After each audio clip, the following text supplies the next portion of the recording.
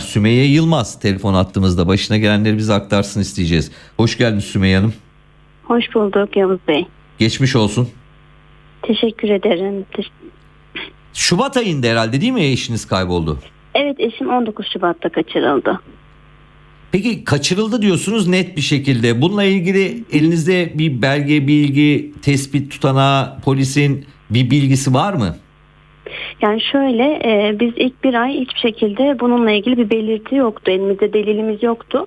Bir ay sonunda ben kendi imkanlarımla evimizin çevresinde araştırma yaptım ve Bir ay ne yaptınız oldum. mesela? Bir ay bir ay eşiniz yoktu, elinizde bilgi yok. Bir ay ne yaptınız? Polise, savcıya oraya buraya başvurdunuz. Ne oldu? O bir ayı da bir anlatın bize üç cümleyle.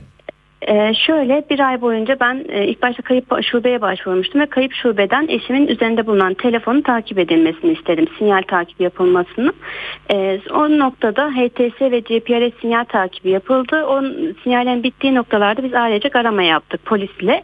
O, polis de koku köpeği aradı. Ancak hiçbir şekilde bir şey ulaşamadık. Nereyi gösteriyordu mesela o bir tarla boş bir arazi öyle bir yer miydi?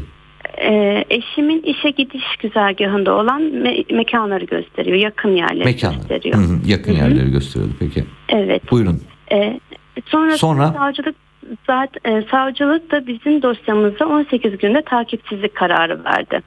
Ve o yüzden biz savcılıkla o bir ay boyunca 18 gün sonra ve ön, öncesinde de hiçbir şekilde savcıyla ben görüşemedim. Sadece MOBESE ve e, sinyal takibiyle ilgili gidip izin yazısı istedim kendisinden.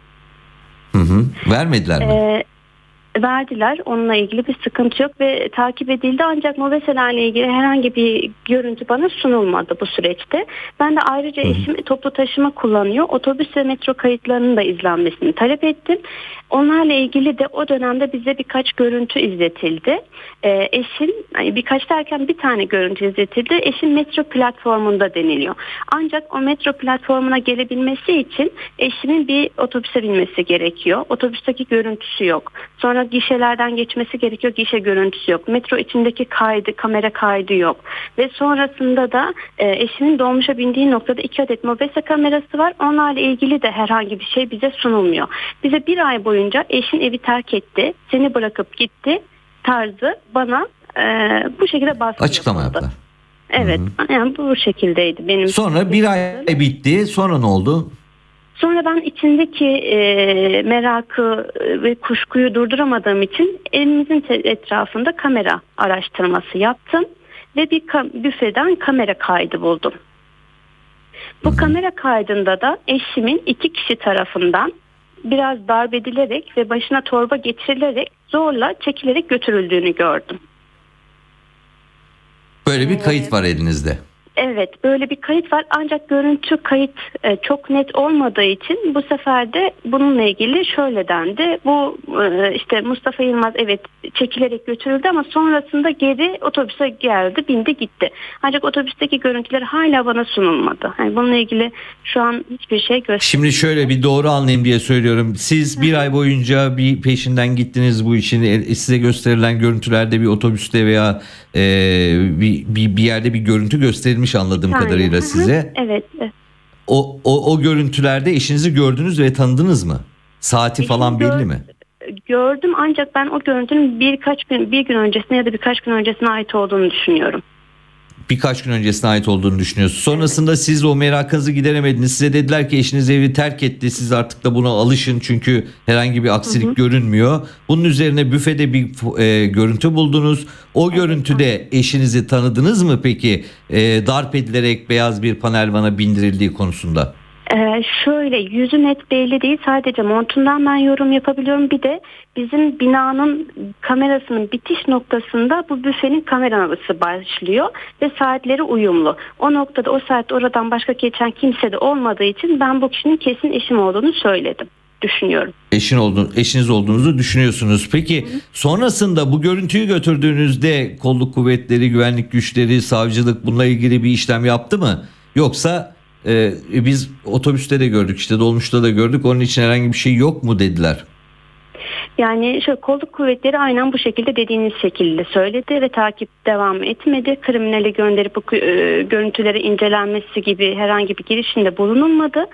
E, savcılıkta henüz işte bir ya da iki hafta öncesinde bu görüntüleri bilir kişiye gönderdi. Daha yeni ama da incelen. Daha yeni gönderdi.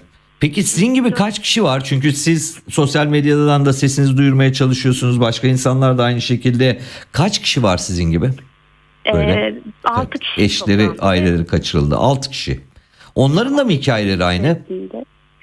E, hepsinin farklı hikayesi var aslında. Yani ama e, hukuki anlamda yaşadığımız şeyler çok benziyor süreçler. O, onların yani ellerinde görüntü var mı? E, görüntü yok ama mesela bir tanesinin gözünün önünde kaçırıldı. Salim Zeybek, Fatma Betül Zeybek'in gözünün önünde kaçırıldı. Kaçırılmış. Hı hı. E, Yasin Ugan ve Özgür Kaya aynı evden e, 40 kişilik bir polis ekibi tarafından kaçırılmış. E, Gökhan Türkmen... Polis ekibi kaçırmaz gözaltına alır herhalde. Bulamamışlar mı sonra onu? Yani şöyle üzerlerinde polis kıyafetleri varmış gelen hı, kişilerin. Hı. Yani hı hı hı. Sonrasında araştırdıklarında herhangi bir şeye ulaşamamışlar, bilgiye ulaşamamışlar eşleriyle ilgili. Eşlerinin iletti. Peki e, siyasetçilerle de konuşuyorsunuz. Bugün Mustafa Yeneroğlu'yla bir konuşma evet, yaptınız bildiğim görüş. kadarıyla. E, aynı zamanda HDP'li milletvekilinin de çok ciddi desteği olduğunu ve bu iş kamuoyuna duyurmak için katkı sağladığını biliyoruz sizlere. Gergerlioğlu'nun. Ee, onlardan aldığınız yanıt ne? Özellikle AK Parti'de yani Mustafa Yeneroğlu ne dedi size? Yani şöyle e, kendisiyle görüştüğümüzde bu sürecin normal hiçbir şey, e, hukuk devletinde asla olmaması gereken şeyler olduğunu söyledi. Hı hı. Kendisi İnsan Hakları Komisyonu Başkanı iken böyle vakalar yaşandığını, bunlarla ilgili suç duyurusunda bulunduğunu ve o dönem bu olayların azaldığını iletti bize.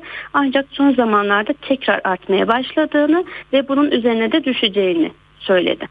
Kendisi de girişimlerde bulunacak. Peki son evet. bir soru çok özel değilse bu cemaatle FETÖ'yle şunla bununla falan bir bağlantı şüphesi var mı sizinle ilgili ya da eşinizle ilgili? Yani şöyle eşim e, 1 Ekim 2018'de gözaltına alındı, tutuklandı. 100 gün sonra da tahliye edildi e, FETÖ davalarından. E, dosya içeriğinde de Baylok ve Bankasya vardı. E, Bankasya Benim vardı. kafama evet kafama soru işareti tutun e, olan şey madem bu insan suçluydu neden tahliye edildi? E, madem suçsuzdu tahliye edildi niye kaçırıldı? Zaten kaçırma hukuki bir şey değil yani. Şimdi onun neden kaçırıldı sorusunu onunla birlikte sormak bile demokratik bir ülkede mümkün değil yani. Evet. Evet evet çok yanlış oldu. Yani kusura bakmayın bazen Estağfurullah estağfurullah. Siz yani size haksızlık etmek istemem e, sizi eleştirerek de söylemiyorum bunu ama hı hı. Bu, bu halde olması da çok e, rahatsız edici bu tablonun. Onu anlatmaya çalıştım. Biz yani aynen hiçbir şekilde size yönelik bir eleştiri değildi bu. Hiçbir hukuk devletinin hatta hiçbir devlette olmamalı. Çünkü e, mevcut bir sisteminiz vardır, yargı sisteminiz vardır ve oraya çıkarır insanları yargılarsınız somut deliller ışığında. Ancak bu Pekala. şekilde kaçırmak e, bilmiyorum. Umarız yani çok zor bir durum tabii. Umarız bir an önce haber alırsınız. Umarız e, sonuçta istediğiniz gibi olur ve gerekli yerlerde gerekli incelemeler de yapılır. Bunu umuyoruz gerçekten. Mustafa Yeneroğlu'nun e, Mustafa Yeneroğlu'yla da bugün konuştunuz. Umarız onda bir katkısı olur diyelim. Teşekkür ederiz. Mustafa Yılmaz'ın eşi Sümeyye Yılmaz ile konuştuk.